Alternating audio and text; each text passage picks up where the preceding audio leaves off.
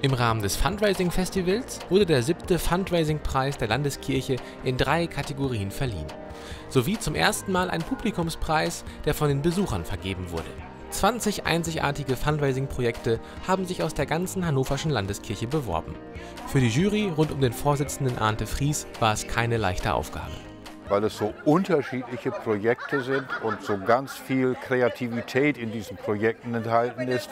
Wir haben aber auch geschaut auf Kriterien wie haben die ein gut durchdachtes Konzept und vor allen Dingen sind die Projekte nachhaltig angelegt. Deshalb verleihen wir ja auch drei Preise, einen für Kreativität, einen für das Konzept und einen für die Nachhaltigkeit. Als erstes wurde der Konzeptpreis verliehen. Die Laudatio hielt Becky an Gilbert. Ich freue mich sehr, heute den Fundraising-Preis in der Kategorie Konzept an die Kirchengemeinde St. Laurentius in Nienhagen zu verleihen.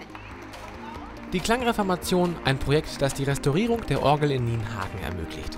Aufgrund großen Schimmelbefalls im Inneren der Orgel ist eine Generalüberholung dringend erforderlich. Ein beispielhaftes Projekt mit einem gut durchdachten Konzept, das auch anderen Kirchengemeinden, die vor einem ähnlichen Problem stehen, Mut macht. Haben wir nicht mit gerechnet, ja, und wir sind wirklich wir. Ich stehe alleine hier, aber das war eine Mannschaftsleistung und natürlich waren es auch die Spender. Und das Besondere an dem Projekt war wirklich, dass es eine lokale Geschichte war. Unsere Gemeinde hat es von innen her geschafft. Das war toll. Als zweites folgt der Nachhaltigkeitspreis, übergeben von Superintendentin Stefanie von Lee. Die Bonusmeilen des diesjährigen siebten Fundraising-Preises für die dauerhafte Stärkung des diakonischen Profils in der ambulanten Pflege und eine nachhaltige Umsetzung einer Finanzierungsstrategie, vor allem im Bereich Fördererbindung, gehen an das Projekt Zugabe, mehr Zeit für Menschen. Die Zugabe der Diakonie Südheide und dem Kirchenkreis Celle schenkt den Pflegebedürftigen 15 Minuten mehr Zeit für Gespräche und Austausch mit den Menschen, Zeit für seelische Pflege, für die im ambulanten Pflegedienst immer weniger Zeit bleibt.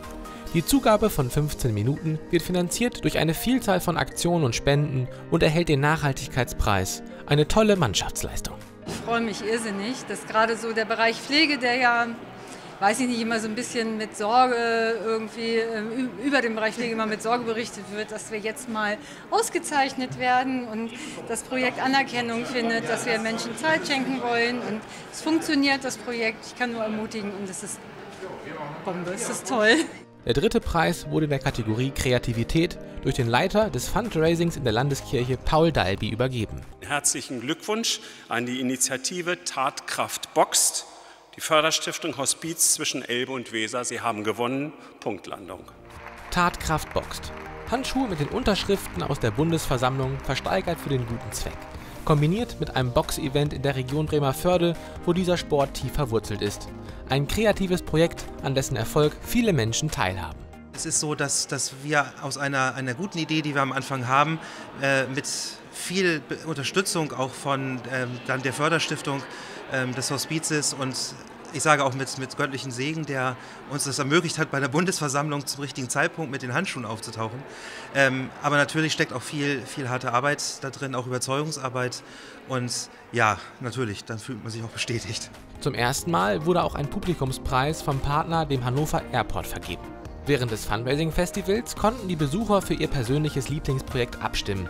Übergeben wurde dieser Preis von Gerhard Tröter. Meinen herzlichen Glückwunsch an die St. Martinus Kirchengemeinde Engelbostel-Schulenburg für das Projekt Hand in Hand stiefeln wir ins Kita-Land. Zusammen als Team etwas Großes bewegen. In einer Mannschaftsleistung schafft die Kita der St. Martin-Gemeinde in Engelbostel-Schulenburg die Neugestaltung der Spielgeräte auf den Außenanlagen. Im ganzen Ort wurden passend zum Titel der Aktion Gummistiefel als Spendendosen verteilt. Alle Beteiligten dürfen sich jetzt über einen Teamtag am Hannover Airport mit Flugsimulator und Blick hinter die Kulissen freuen. Ein großer Dank an die ganze Kirchengemeinde, an die kind für die Kinder auch ein toller Preis. Wir haben morgen äh, Sommerfest, Gemeindefest und insofern ja, wird das schon eine gute Einstimmung sein. Passend zum Thema Flughafen endete die Preisverleihung am späten Nachmittag auch mit einer Punktlandung.